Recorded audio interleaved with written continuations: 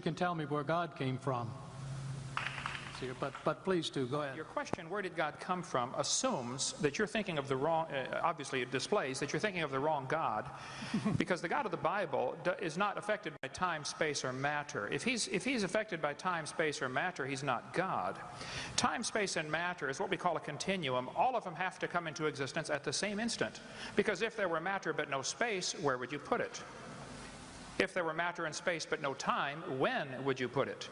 You cannot have time, space, or matter independently. They have to come into existence simultaneously. The Bible answers that in 10 words. In the beginning, there's time. God created the heaven, there's space, and the earth. There's matter. So you have time, space, matter created a trinity of trinities there. Just, you know, time is past, present, future. Space has length, width, height. Matter has solid, liquid, gas. You have a trinity of trinities created instantaneously. And the God who created them has to be outside of them. If he's limited by time, he's not God. The guy who created this computer is not in the computer. He's not running around in there changing the numbers on the screen, okay? The God who created this universe is outside of the universe. He's above it, beyond it, in it, through it. He's, he's unaffected by it.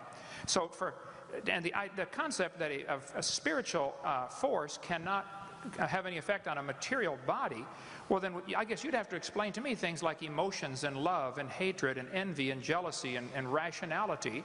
I mean, if your brain is just a random collection of chemicals that form by chance over billions of years, how on earth can you trust your own reasoning processes and the thoughts that you, you think?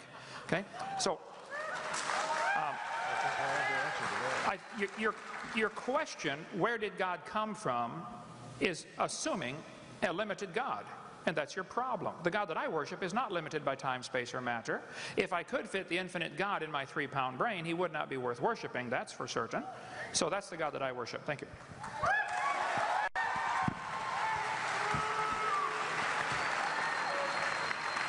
Got Dr. any Hovind, would you like to- for that? Would you please present a question to the other side?